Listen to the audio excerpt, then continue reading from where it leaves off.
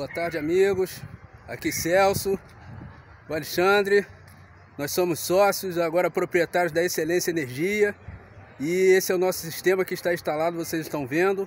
11 placas de 450, um inversor de 6K.